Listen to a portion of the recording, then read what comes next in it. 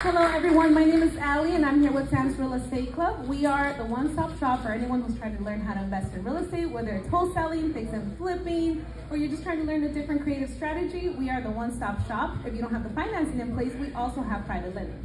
That's why I like to call us a one-stop shop. We have our monthly in-person meetings that are held in West Covina. Uh, those are, we have vendor tables networking as well as a different speaker each month. They're always free to attend and they take place on the third Thursday of each month.